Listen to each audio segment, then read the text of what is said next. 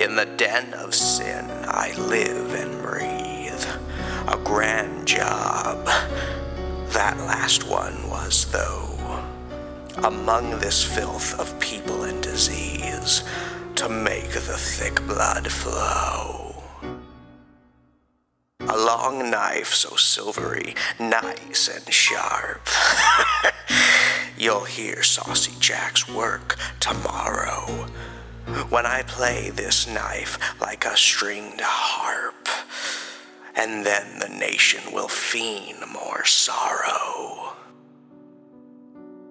Chapel repulses all your kind, so don't make a villain out of twisted me.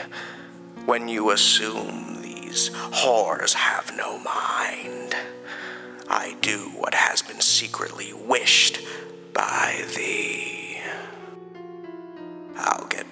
My important work now, and you'll no doubt try to stop my crime. For it is hypocrisy that make you bow, for I clean out the mess you hate, the slime. Yours truly, Jack the Ripper.